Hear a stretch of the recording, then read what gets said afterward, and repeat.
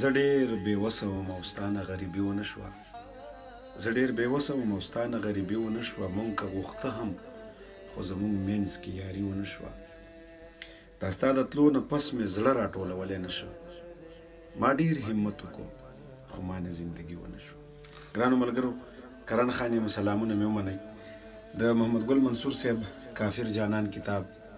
راغلی دی په هر ښه دوکان کې درته ملاوېدی شي. د دې سره سره والۍ مه خرڅوه.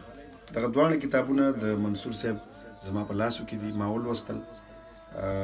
کوم چې د ادب او د شعر مینوال دي د هغوی لپاره ډېر بهترین کتابونه دي. د شعر ژبه خوږه ژبه ده، خوره ژبه ده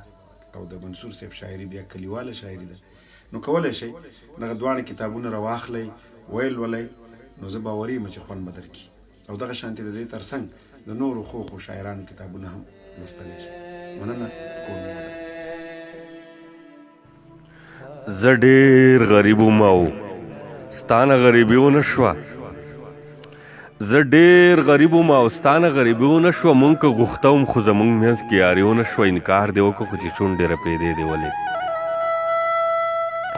انکار دې وکړه خو چې شونډې رپېدې دې ولې انکار دې وکړه خو زما پې تسلي ونه شوه دا ستا د تلو نه پس مې زړه راټولولی نه شو ما ډېر همت وکړ خو مانه زندګي ونه شوه دا ستاره تلونه پس مې زړه راټولولی نه شو ما ډېر همت وکړ خو ما نه زندګي ونه شو ما چې په تا خپله نامه ایښې وه پوه شوې اوس زه چې بدنام شوم او ستا چې بدنامي ونه شوه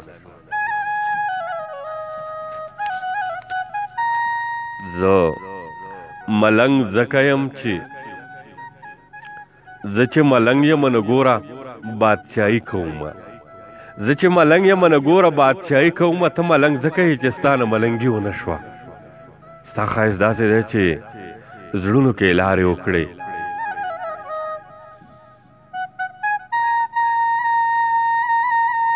ستا خایس داسې دی چې زړونو کې لارې وکړې ستا زړه څه داسې دی چې لار پکې بیخي ونه شوه بیا مې څه لږ ډېر جمع کړي دی او دا ولګوم بیا مې څه لږ ډېر جمع کړي دی او دا ولګوم منصوره بیا چې یو ځل نه شم تاواني ونه شو